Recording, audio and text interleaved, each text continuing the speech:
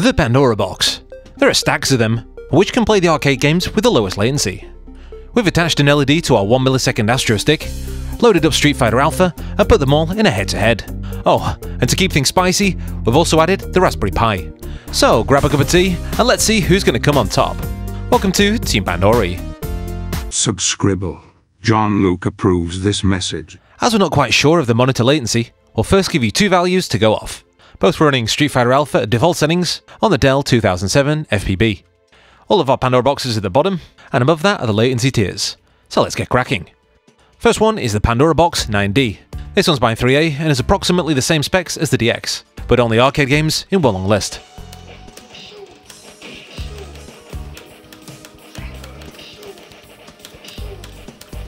And the 9D is very responsive, 83 milliseconds. Okay, next up is the DX. Similar in spec to the 9D, but with many more features such as save and extra consoles.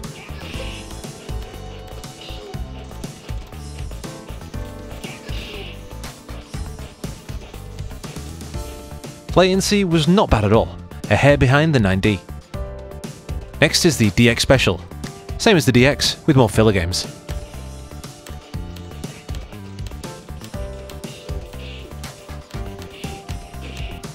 No real surprises, it's exactly the same as the DX. But how about the Pandora Box DX Saga? This is a copy of the DX Special from a different factory, and also $20 cheaper.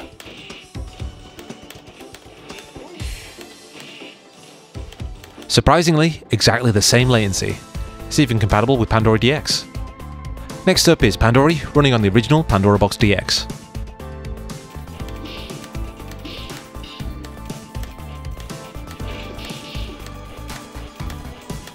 And the result may surprise you.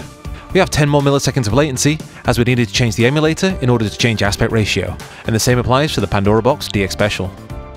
Next up is the Pandora Box EX. 3A really did upgrade the specs of the system, as it's even capable of playing PSP.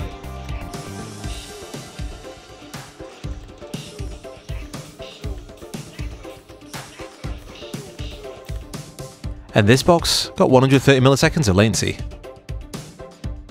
Next up is the Pandora Box 10th anniversary. This one has added systems such as Atomiswave and Naomi, but how is latency on Street Fighter Alpha?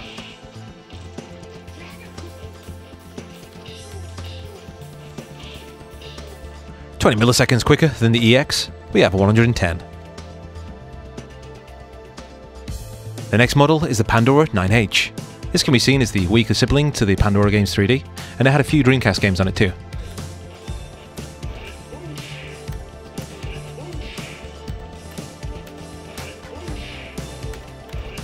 The 9H was pretty slow, 167 milliseconds.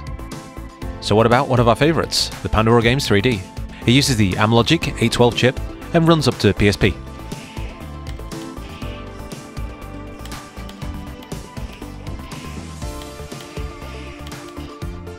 Comes in just before the 9H at 156. But how about the Pandora Games 3D Plus?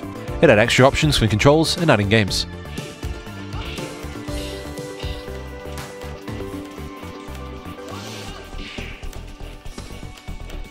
A noticeable latency was the main reason for not really liking this box.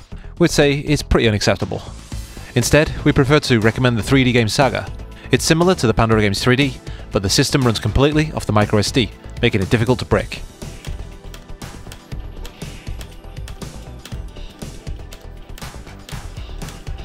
And this system is pretty nippy, at 113 milliseconds.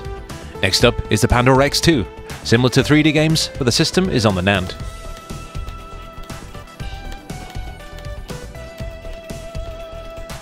And this one was quick too, exactly the same as the 3D Saga.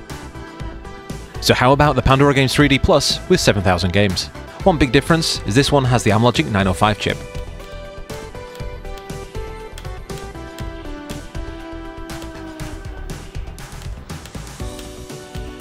So this board actually plays most games worse than the 9H, with much higher latency. Will it remain last? Let's find out. So the Treasure 2 had PSP and Naomi support, but no way to change the aspect ratio. No signal. It's not working on the Dell. Did not finish. And then last up, Pandora Esports. It promised online play and was a bit of a mess.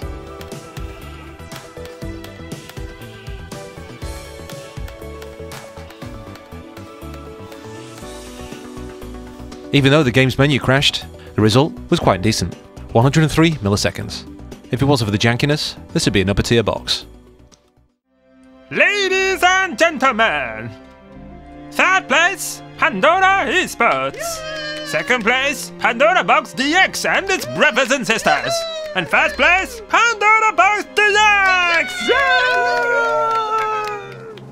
However, once you have the power to fiddle with options and use run ahead, the Pi 4 can match the Pandora Box 9D. This has been Emu Chicken of Team Pandory, and I'll catch you on the next one. ta The problem with the Pi 4 is that PSP games run like absolute Wesley.